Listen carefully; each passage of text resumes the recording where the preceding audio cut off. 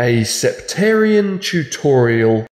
During the Cretaceous period, when sea levels were considerably higher, minerals from the shells and carcasses of decomposing sea life and organic matter combined together with the seabed sediments and volcanic ash accumulated around a central mass to form balls of clay and mud. When the same ancient oceans and lake beds began to recede and dry up, these mud balls were exposed and left subject to desiccation. As all of the internal moisture evaporated from the clay and mud, the subsequent shrinking and then hardening caused abrupt internal angular cracking in the dehydrated mud and clay. These cracks are known as septaria or septum and take their name from the Greek word for a partition or division. After this stage, mineral rich fluids carrying a further abundance of calcium carbonate deposits seep into the septaria chambers, forming both calcite, which is the beautiful yellow crystals within septarian, but also aragonite, which is the thin layer of brown druzy or crust that forms on the internal surfaces of the distinctive cavities from the mollusk shells that helped make up the bentonite or clay and mud.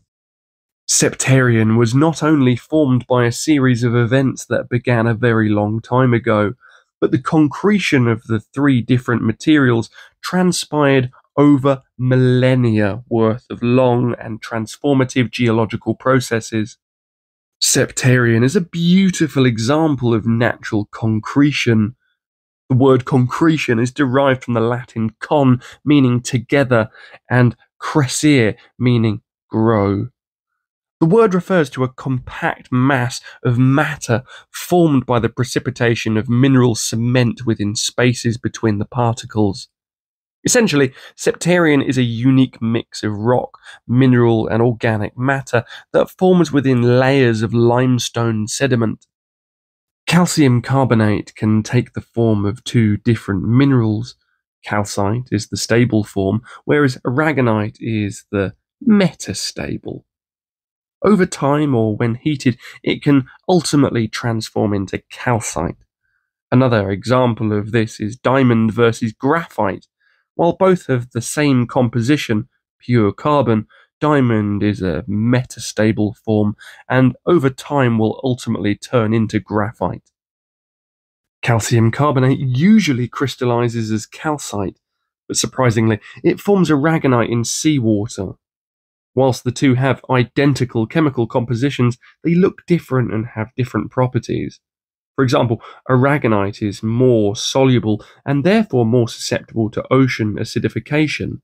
I spend time talking about the distinction between these two minerals largely because the beauty of Septarian is contingent upon the fantastic geological fusion between these two components. Thank you for watching that video. Now, my name is Luke and I'm one of the writers here at Salt Shack. Now, what we do here is we teach people geology, mineralogy, gemology, archaeology, paleontology, and all manner of ologies as it pertains to very interesting things that come out of the ground. We will teach you how something forms or how it gets its color. We'll tell you how to identify it. We'll tell you diagnostic techniques. We'll tell you all about fakes and we'll tell you the history and maybe mythology and how indelibly etched many of the things that we sell are into ancient folklore and the stories of very interesting civilizations. Now, if you want to better understand these things in order to have a more well rounded understanding of very cryptic subjects, or to better insulate yourself from many of the duplicitous practices that go on within the crystal industry, then why not follow us and join the club?